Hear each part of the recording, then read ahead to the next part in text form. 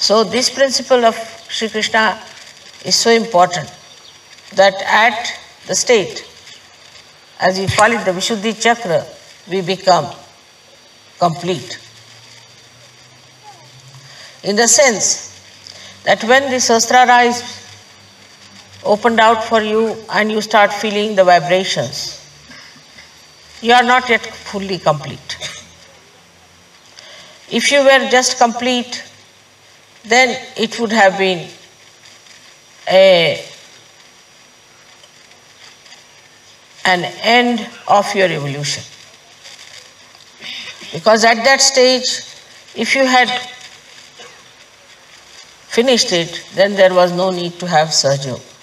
But actually, it means that once the Sahasrara is opened out, then you have to come down to your Vishuddhi Chakra. That means to your collective.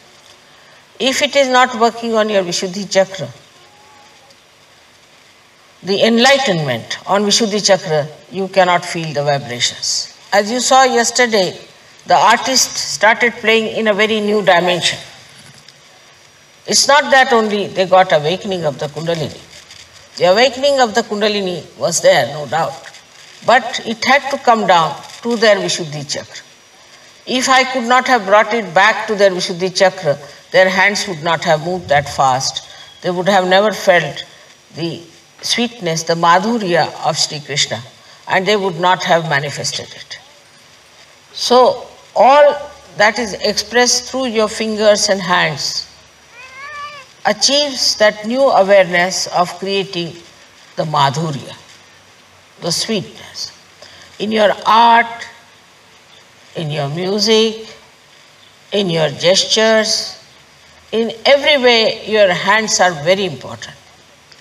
But Vishuddhi Chakra also plays part, as you know, on the 16 chakras or the subplexuses which look after our face, our ears, nose, eyes, neck. All these things are looked after by Vishuddhi Chakra. As a result, also, you can become great actors. You can have eyes which are innocent. You can have a skin which is shining. You can have ears which can hear the divine music. You can have a nose which shows your dignity. In the same way, your whole facial expression changes.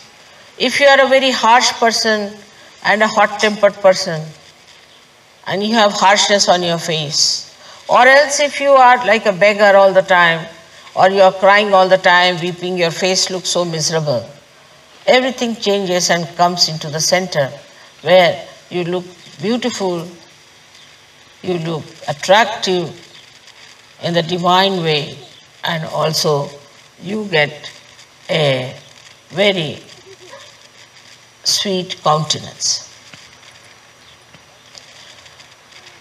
Also, the teeth and the tongue are looked after by Vishuddhi Chakra.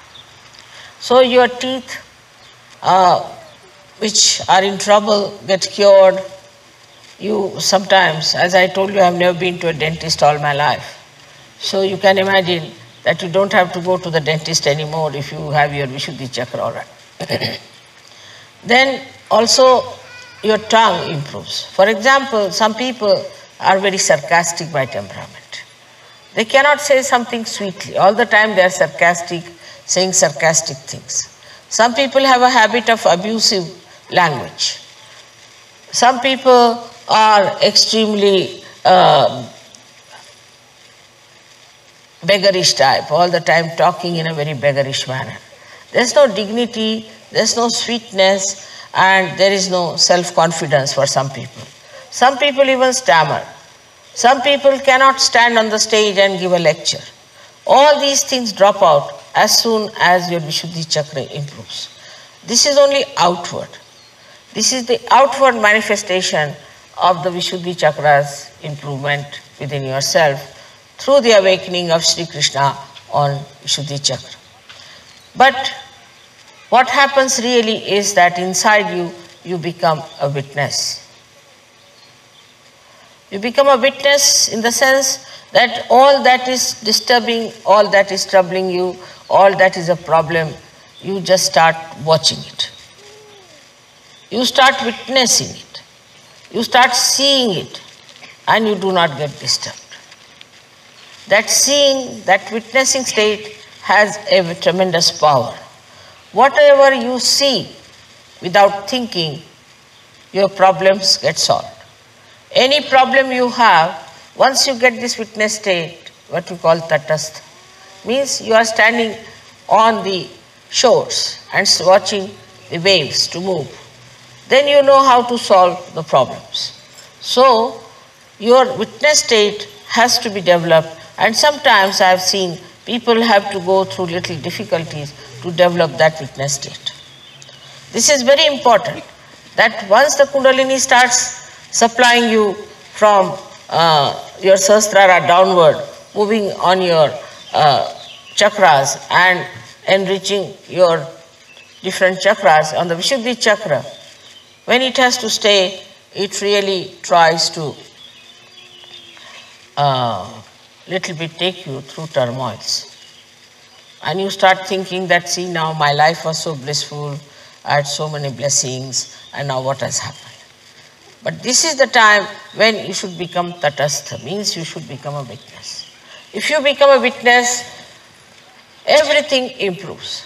For example, you are, say, a person who is working in some place.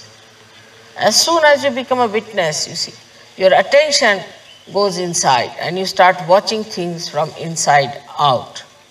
As a result, you see exactly what's wrong where. And as you have got the power of witnessing, with that power, you get over the problems that you have. Problems get solved very easily if you know how to witness the whole situation than to get involved into it.